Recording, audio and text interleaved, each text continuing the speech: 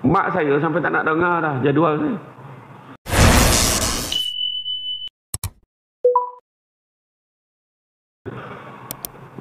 Ya Allah. Saya teringat momen ni Kek Zoo tu kan. Tak minta maaf tak tak tak tak tak tu ha tu jaring, jaring tu lah kan. Jadi gurau gurau gurau.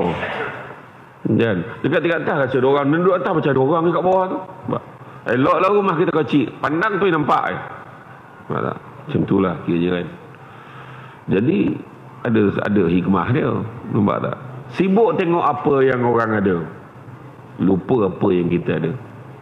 Tengok kan nak ke perempuan tu kat aku. Ya Allah nak ke perempuan tu aku lawa betul perempuan tu. Perempuan tu nak ke kat aku. Aku nak sangat kat dia.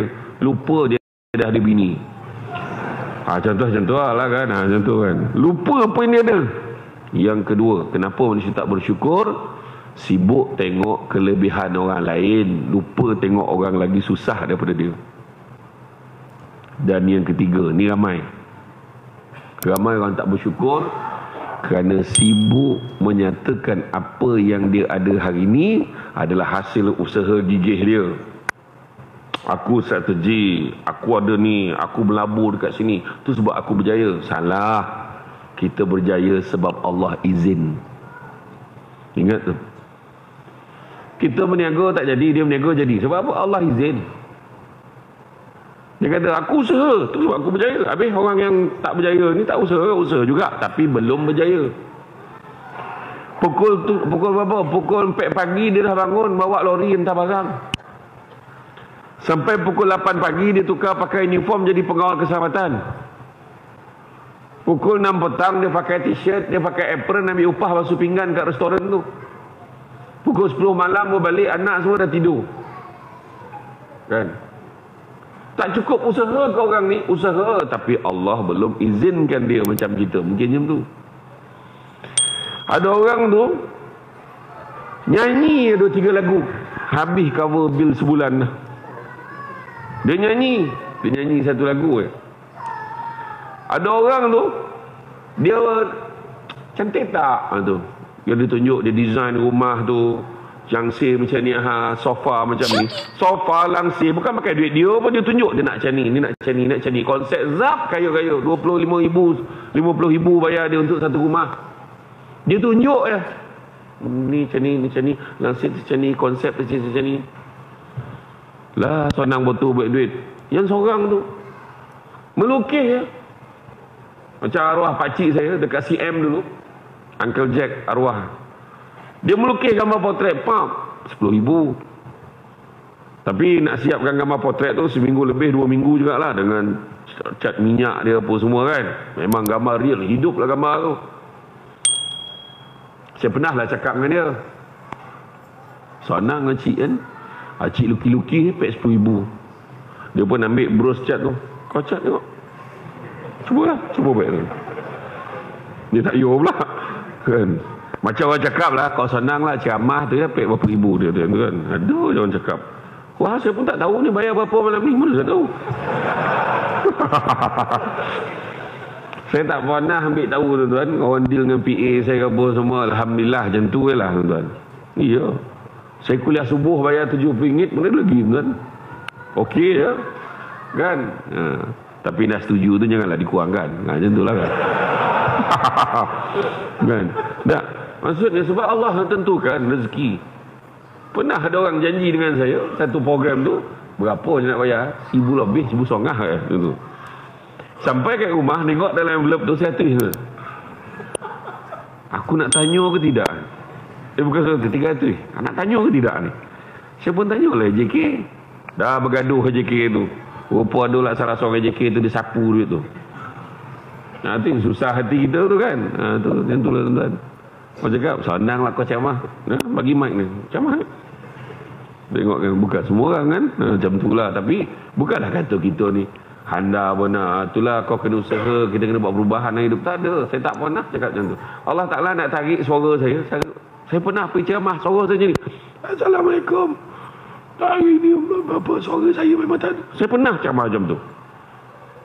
Saya tak tahu kenapa Orang lain, penceramah lain, pernah tak penceramah dekat sini, dia kata malam, okey, pengarusi suara umum, malam ni program batal, Ustaz tak sihat. Pernah ke tak? Pernah kan? Ustaz tak dapat datang, dia ada emergency. Pernah tak? Kenapa aku tak boleh? Saya debat nak batal apa? Tak boleh, tak boleh. Orang dah ramai dah. Apa masalah? Bagilah peluang aku pun nak jadi calon biasa. Aku pun nak batal. Saya berdoa atau beri siang tadi. Batal lah program malam ni. Tak jadi dah. Jadi juga. Soal minta kan minta batal tak dapat tu. Kena marah. Dia kata jangan tuan. Sebab ni kebanyakan yang bulan ni booking pun saya ingat tahun lepas. Booking tahun lepas. Saya sebenarnya bawa balik. Bawa balik daripada umrah. Tu suara saya. Macam sangau sikit kan. Saya balik daripada umrah. Saya first time tau pergi umrah. Pergi umrah musim panas. Tak pernah. Dulu kan kalau lepas umrah 3 bulan rehat baru baru apa haji 3 bulan lepas tu baru umrah. Sekarang tahu pas beton ni. Hmm, panas betul. Saya tak pernah tuan-tuan pergi musim panas. Keluar bayang keluar pada hotel pergi subuh. Subuh berbahang. Weh, panas ni subuh ni. Ha, macam tu lah. Ha, lepas tu daripada uh, subuh uh, hari Rabu dan Khamis lepas. Tengah hari cecah 44 degree. 44 degree. Kemudian daripada Madinah tu nak pergi ke Kuwait. Saya pergi Kuwait pula ada ceramah kat kedutaan Malaysia dekat sana. Uh, masa nak pergi Kuwait tu baru suara saya dah mula dah berubah. Lama dah batuk pula dah kan? Di Kuwait pernah cecah 62 tu. Oh bayangkan panas dia orang.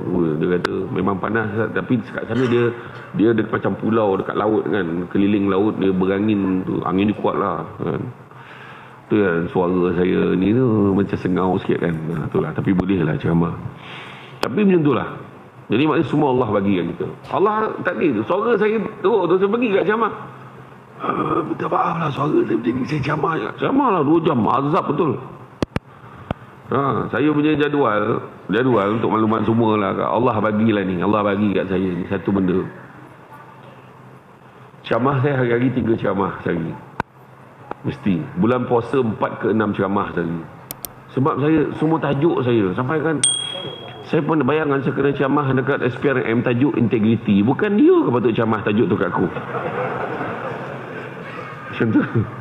Kan camah motivasi pekerja, pelajar pun saya. Lepas tu kat musim maulud kan pun saya. Tapi buatlah mana yang boleh. Sebab kalau saya tak buat macam tu, lagi lambat turn tu sampai.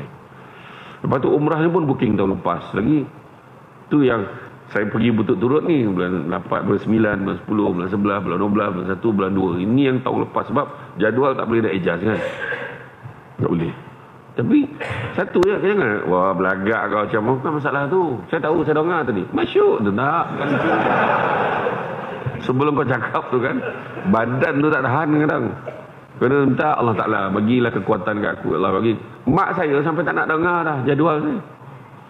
Saya bila ada free saya pergi rumah mak saya. Duduk rumah mak. Mak dia pun hidang lah. Cik goreng ke apa air kan. Tak ada camah kan ni. Bawa balik dia kedah ni. Wah ini tak adalah. Kejap lagi nak pergi faham. Kedah kau diam lah. Tak payah cakap. Kata. Donga pun dah ponik tau. Dia donga anak dia pun dia dah ponik. Ha.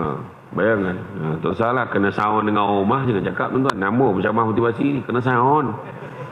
Camah, camah. Bila. Bila. Itu ya. Kan. Macam Kan? Ha, saya cakap dengan dia, abang Syamah 2-3 tahun dia lagi kot, paling lama. Besok abang dah duduk rumah, jangan kau muntah nak muka abang, sudah lah cakap tu kan. Tapi Allah bagi. Semua Allah bagi. Suara Allah bagi. Cakap Allah bagi. Nak cakap apa?